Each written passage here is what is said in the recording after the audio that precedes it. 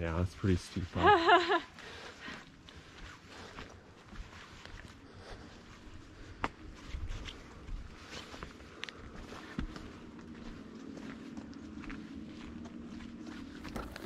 All right, guys, today we're talking about the one survival knife that you need in 2023. Now, I have to say, admittedly, I've kind of been out of the survival game for a little while, intentionally focusing more on everyday carry, as you guys have probably noticed with the channel. But I will say, I haven't really noticed a lot of innovation or, you know, like new cool um, survival blades coming out this year. I will say, Rat or Ontario Knife Company's Rat line has uh, received like a uh, upgrade to the steel, or at least a choice to upgrade to the steel.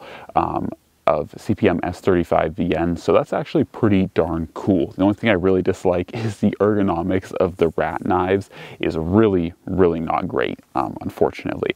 However, um, today I wanted to talk about the ESEE-6 and why I think that this is probably one of the best survival knives you guys can get this year. Now, undoubtedly, you guys will probably know if you follow the channel at all, you know that I definitely have a strong love affair for my Chris Reeve knives Pacific. And unfortunately, the Pacific, whether it's in 4V or S35VN, is not a very attainable knife for most people. And that's actually one of the reasons why, you know, I get like comments of like, oh, this must not be a very good survival knife because no other survivalists are talking about it. And it's like actually just because they probably can't get one. Like they're incredibly rare rare and expensive. So not many people are willing to either A, spend $550 on one, or B, get on a two-year waiting list for one. So honestly, that's the reason you don't see more YouTube survivalists like Coalcracker or Dave Canterbury or really any of them running around with that knife. It's because it's far too rare for them to really get their hands on. And that's not me trying to like say I'm better than them. It's just that, you know, that's the way the um, tables are. That's the way the dice have fallen, I guess you could say. So anyways, back to this knife. I'm not talking about the Chris Reeve knives Pacific anymore.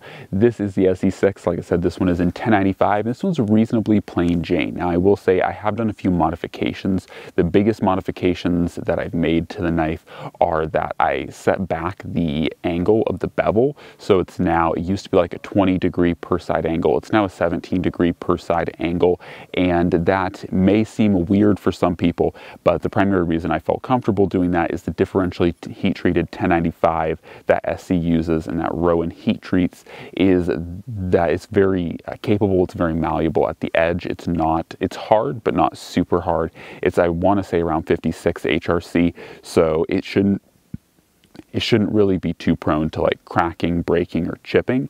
And so that's why I felt comfortable laying it back a little bit more. In addition to the nice thing about having that thin edge paired with the full flat grind is that it's going to slice and slice and slice. And even more so, even as the edge begins to dull, if you have a very thin edge or very thin uh, material behind your cutting edge, it's going to continue to slice even as that edge gets more dull. So that's kind of my reasoning or philosophy for changing it up. It does, in my opinion, look a little bit dorky because you guys can see that it has quite a wide bevel, but it is very practical and very functional. The only other thing I did was I took a Dremel, sanded off the uh, portion of the spine that was coated with that like truck bed liner and then I blued it and I also brought it down to a 90 degree angle so you can strike ferro rods but also the bluing should help not make the knife rust too badly. So anyways those are the few modifications I did to the actual blade. I only really did one modification as you guys can kind of see crudely. Um, I just put some uh, loops, some belt loops on the back of this so I can wear this thing scout style. So this is meant to be worn like on the small of your back, scout style. And uh, yeah, it works perfectly fine in that regard. And that's actually a preferred way I like to carry knives. So anyways, uh, that is the sheath briefly. But overall, I think what makes the ESEE-6 super, super great for survivalists, especially people beginning, or if you've already began, you know, like practicing survival, you just want something that's very uh, like well contoured, well thought out, well executed as far as the knife design goes.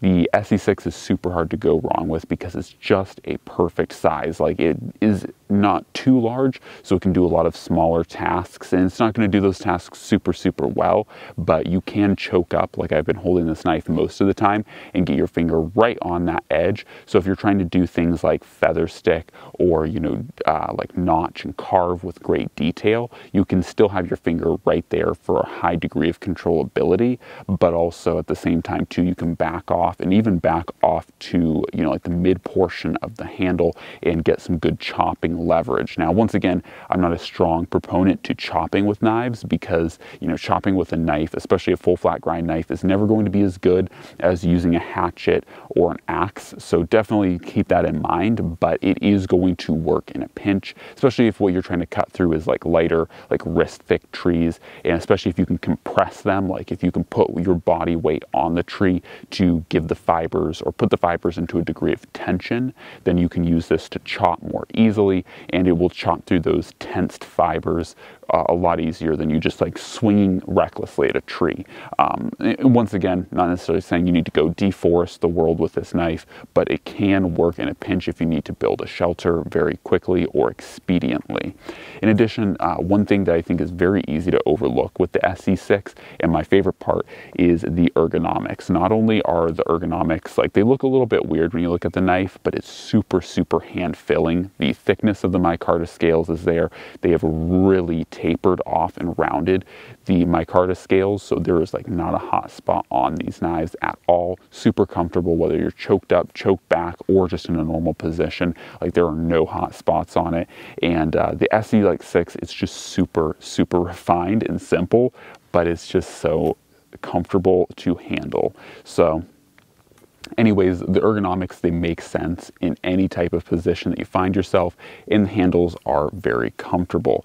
And because it is a pretty natural or raw micarta. It's pretty grippy, it's not polished, and uh, yeah, it feels good definitely in the hand. And the cool thing about micarta is if you do get this wet, it, that micarta is going to soak up the moisture, so the handle will still be wet, but it will be tacky and grippy. It's not going to be like rubber per se, but it will be pretty darn good. So I do like that part about at least the micarta versions. The G10 versions are different because G10 is non-permeable, so if it gets wet, it will get slick, but the micarta versions of this blade work perfectly fine. Other things that I haven't done, some people have done, is take off the jimping on the back. I really haven't found a need to because the jimping isn't super, super aggressive. And most of the time, to be completely honest, like when I'm using this knife, uh, when I put my thumb up on the back of a knife, it's usually during carving. And if I'm going to be carving with this knife, I'm going to choke up. And if I choke up, my natural hand position is just right here. So my thumb actually overrides the jimping anyways. So I don't really mind it. It's not a huge deal for me. Um, I, I can like live with or without the jimping. Now I will say there were previous knives that I owned like the ESEE Izula. The ESEE Izula I did take the jimping off of because it was obtrusive. It was uh, definitely noticeable and it impeded my way uh, or my ability to comfortably like carve for extended durations. So not to say that you couldn't remove these. I'm sure if you sat there on these jimpings for a prolonged period and like we're carving on a stick, these would probably become a hot spot and you'd probably want to uh, grind them down or completely off. So anyways, that is kind of my experience with the ESEE-6, why I think it is a really excellent survival knife. I am still kind of like, I find it funny that it took me so long to get an ESEE-6 because I've only had one since, like I got this one I think last year. So I haven't had one for a terribly long time. I've certainly had things like my Chris Reeve Knives Pacific, my Fallkniven A1, uh, and other survival knives for a longer period of time. But the ESEE-6 is really cool. It is super, super well thought out. And as I've said about many ESEEs, including the ESEEs I still own, um, you know, the best thing about ESEE is the fact that the people that make these knives also train people for search and rescue, survival, and just outdoor, like wilderness self-reliance. So whenever you're buying ESEE knives, you're buying them from people who understand search and rescue, understand the priorities of wilderness survival, and that's pretty much why just about any ESEE knife that is made by like the core ESEE group is going to work really well outdoors because they were made by people who live outdoors who operated and used other knives founding or finding that they were like not good, not usable, and made their own design. So anyways, the ESEE designs have been around for decades. They work well, they serve their purpose very well, and uh, you'd be hard pressed, honestly, to find a better knife for around the 150 to like 120 dollar margin. Like you'd genuinely be hard pressed to find something that would perform better than this. Um, anyways, guys, hopefully you enjoyed the video. As always, God bless, and I'm out.